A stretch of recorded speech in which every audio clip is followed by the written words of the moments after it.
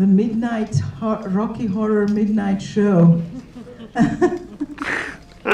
okay, I'll be very fast because I think people want to go home and uh, sleep and dream about the Egyptian revolution. So,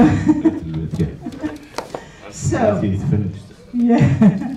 So I will ask the first question is um, uh, how did uh, the idea, I mean, of, obviously you're living in it, you're in the middle of it, but six years later, why you decided to make this film? Uh, first, thank you really to stay uh, this late in New York. Yeah, Yes, thank you really everybody's very much, bedtime yeah. is way past. I'm glad by this, and uh, for any filmmaker, um, uh, he wait some moment like this that audience uh, show the interest by by some signs like staying very late, by saying good word, and we all live by this. Yes. and um, I- I'm like every filmmaker who believe in uh, in freedom in and in beauty, and I was always close to this activist uh, in the before ten years before the revolution, and uh, among my friends Isra Abdel Fattah and Nawara Negm and many others, and uh, a good thing they are young and females and enthusiastic, and it's a long, long uh, fight to achieve this freedom from uh, the from the 70s.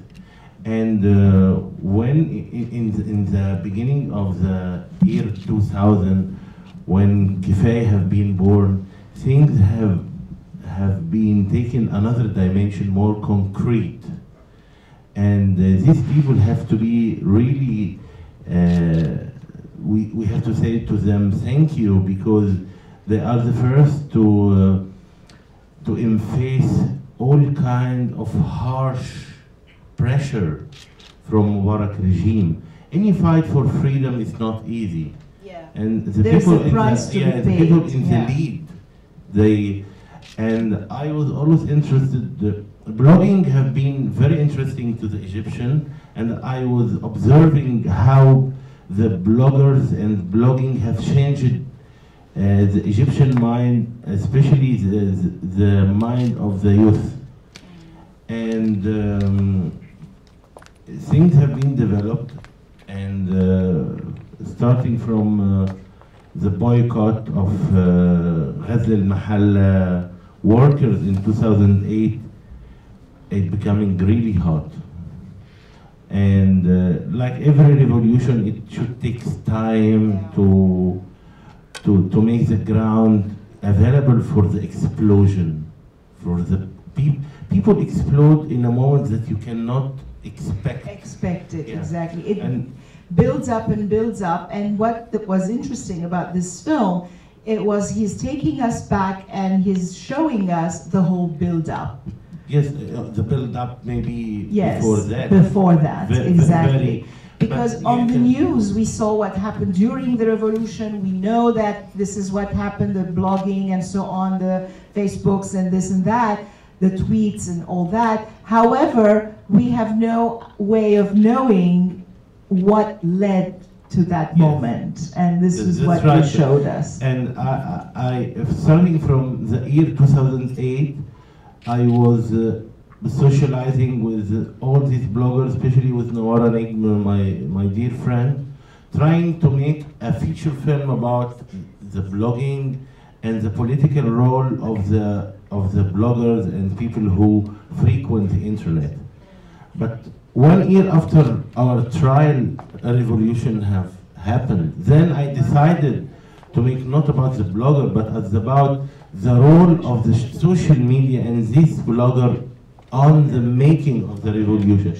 Yeah, and for me also, uh, as, as, as someone interested in analyzing and in academic part also, I see that the Egyptian uh, cinema have a long history, 100 years history, but she she have uh, very few films that talks about the political moment. Yes, totally. It's all Bollywood style entertainment, a lot of it. Which is yeah, which bad is because fine. a yeah. part of the part of yes, the part of the culture, part Yeah. of this. But, yeah. but you know, so, uh, the revolution of uh, of 19 of uh, 19th, 19 and, uh, and 48 uh, war on yeah. Palestine and and even the revolution of, of 52 every every important moment cinema presented in a very narrow margin very Yes. few There are way. rare movies like Nasser and historical moments like that, but you're right. It's not a um, activist yeah film Oh, industry. oh yes, yeah. yes. Yeah. There is some some very few film, and Yeah. I analyzed I analyzed why this happened. And I discovered that when when the moment have passed, nobody think about made, ma- making a film about it. That mean nobody now think about making a film about the revolution of 2011 uh, because many things happened after and many other things on the going. And the good thing that I, that I produced my film from mm, from from 2007. I tried to produce it. Then, uh, sometime with European fund, I have my own investment, and we sell films to TV station, and we reinvest in another film. This film, we succeed to have uh, a competition of script with the Minister of Culture, who, which my film was among the five finalists. Then he got a, uh, some some money from the Minister of Culture. They don't have to do with the subject because who judges the scripts are intellectual and filmmakers. people, Yeah. yes, yeah. It's not um, Mozafin or officer. Yeah. But I'm happy that I I really uh, memorized a very important and noble moment uh, on the life of, of my people, of my country And I'm It's, glad it's that a I, very I did it. important document, yeah, even though it, it's a, a feature, a narrative feature, but you've done it in such an authentic way, and also because it's based on a true story, Yes. it's as though it was a documentary and depicting the real situation. Yeah, we, And call, the- we called it in Arabic drama توثيقية. That mean, Uh, that mean you dramatize the facts, but Yeah. it is not a documentary and it is not pure drama. It's Exactly. it's a drama based And on acting, I mean, of course, there is Egyptian actors are so good. They're really, you know, giving us the. Yes, you are moment. you are good actors as well, Thank you. and, uh, So and all, maybe- all- all your family. oh yes, uh, my peace upon family. uh, our, Ah, our friend, our uh, friend Vanya, Vanya, yes, Exerjian. who But- is the reason why this festival exists. Yeah, yeah, she gives you the power, and I'm really glad to see that there is a prize and award with her name, and we'll Yeah. write an article about this. Thank you. We still have to do that. No, no, no, we will write both. Don't worry. Uh, And, let's see, maybe uh, they Yeah, want to ask questions, even though they're please, yeah. yeah past their bedtimes, but they can still ask questions. so, any questions from the audience? Yes. Oh, should I take a mic or? Oh, Yeah, oh, I- you have a. Uh, first your voice is very loud. Don't, don't worry. oh, okay. You can. and, You and can. we can repeat it after you. So, Right, well, first of all, I want to say that um, I, I grew up in Egypt. I spent seven years there when I was from junior high through high school. So Egypt will always have a special place in my heart. That's been about, I won't say how long, but a while ago. wow, he spent seven years in Egypt, and Egypt has a very special part in Special his. place in my heart, but will always. Wow. But my, my question was, um, in other countries such as China and uh, North Korea, we see a very strict uh, controlling of the internet via their governments. Yeah. And so I'm wondering why Egypt didn't take those same, uh, you know, same uh, precautions against people on Facebook and that sort of thing. Was it that they didn't take it seriously, or it was too late, or how, why didn't they try to control the internet to, pre- to prevent people from utilizing it for revolution? Yeah, the Please don't- question. don't remind them, please. The question. The question is uh, in certain countries, like in China and other countries, uh, when uh, people are censoring, they really control the internet, and sometimes they just not allow certain sites to be accessible. So the question is, how come Egypt didn't do that? And were they Because not aware, or did, was it too no, late, no, or they, what? they have another strategy because they Egypt is a, China is a very exceptional model. Uh, China and uh, Iran, and they control the internet. May- Maybe Saudi Arabia also. Uh, but in Egypt, uh, they they control the account of the people that are uh, afraid from. They don't have to, to ban it from all the country because there's a lot of bullshit and a lot of. They don't have to ban it. They just focus on some people. They know it, uh, or or uh, anytime they hear, they will hear about someone who was causing uh, such uh, anything against their will. They, th- it's very easy for them. Not Maybe not they use it as a they use it as a tool, maybe. Yeah, sometimes yeah, but it's not that. مباحث يعني. Yeah, it's in the like time they of can Mubarak, they follow. were so, yeah. so smart. Like you see in the film, they didn't believe even That it that was the power possible, of the yeah. internet. Now, when the revolution ha- have been made because Now of the they know, internet, things have been different. But you know, every regime tried to protect, even here in the United, e- everywhere tried to protect itself. You know, art, art work on uh, didn't only tell about the secrets or the mechanism of the power against the humanity or the tyranny against the search for freedom. But but one of the um, in my vision of the cinema I, I even have a, a project of film here in the united states search about the human condition how the human being try to find his place on life to find love or success or freedom against all things who, who are against him, even the, the health condition. Sometimes he is not. Uh, we are all in a search, and the good thing in cinema that it can present this search for beauty, for power, for freedom, for success, in, and the ways to achieve this. The We'll take one quick question because we have to clear by midnight, and I, I- just I will- I will shorten because, yeah, uh, yeah. I deserve some time. Yes, I know. For coming. for coming all the way. But we can still go into the mezzanine and continue. In fact, I want to still Yeah, do or- an interview with you. Yes, okay. So, any more? Yes, one more There is three. question. There is, there is three. I I don't know who you're pointing to. Is it me or back there? La- Ladies first. Okay. So I, I'm Egyptian and I lived there my whole life. I left the year before the revolution. Um, and my question is, with Abdel Fattah Sisi, what we see now is some things have changed.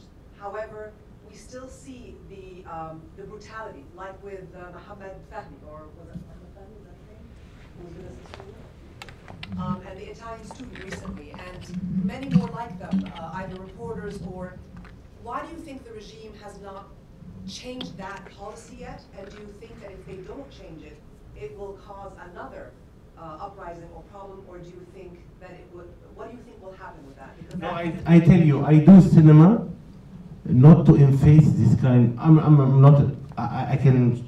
You can see that I'm not someone who is afraid. But the good thing that I do cinema, doing politicism, you have to confront any any regime, not only this one or actually or. But I do cinema, and you will see in my next film my position and my vision uh, to what's happening now. Uh, but uh, but I don't. Uh, replying this will make me in, in uh, um, what you can see in uh, direct confrontation with something I can tell it through cinema. Wait my my next movie. Okay. Yes, in the back. Yeah.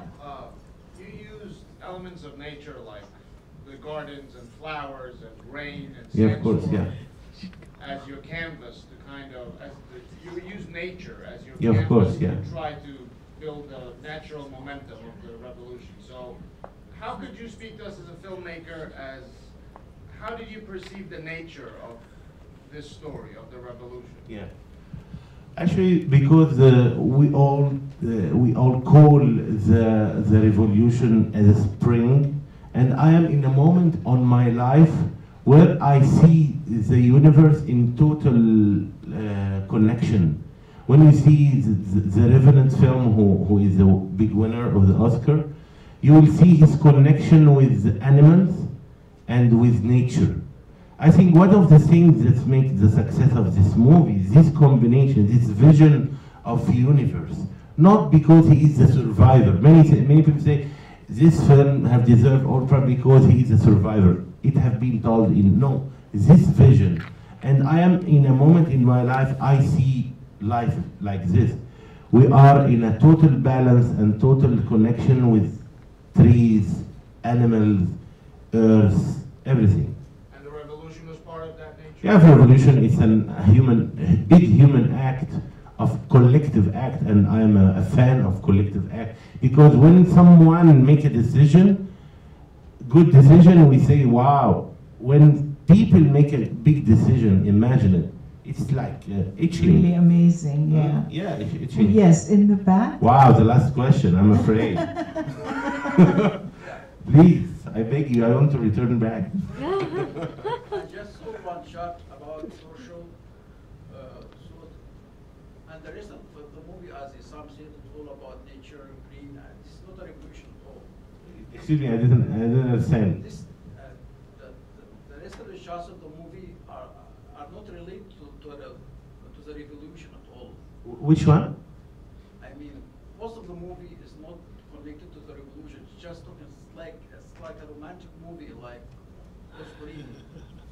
It's okay. Why Yeah, not? it's, no, I'm not talking about this. I'm, I'm just talking about uh, why didn't you didn't do it by a realistic movie like Heya Fawda, for instance?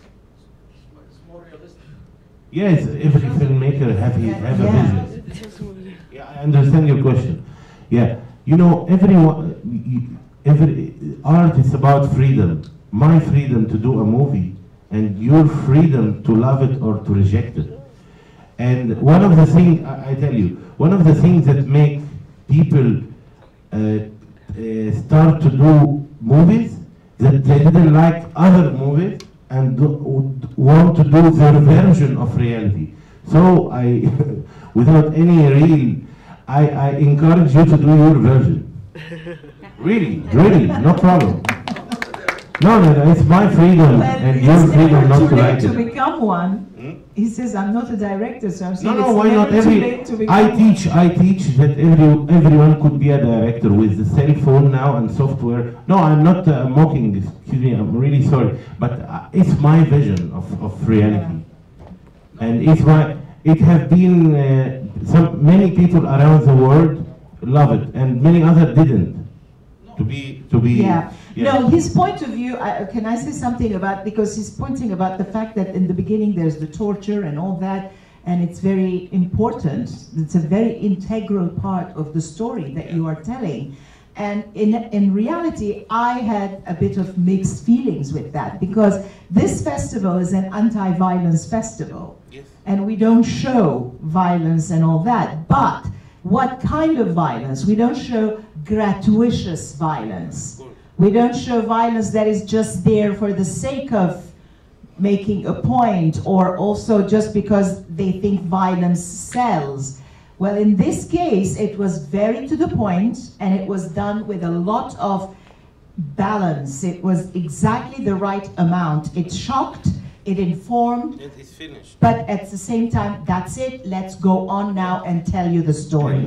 Yes. So right. that's and, very and I will important. continue. I see, from my point of view, the film is very realistic, and it show. Uh, I will reply, and it show a lot of real moment, but it is focused on some people. It didn't show. Uh, it didn't show many aspects of the revolution. It's a revolution through the eyes of these young people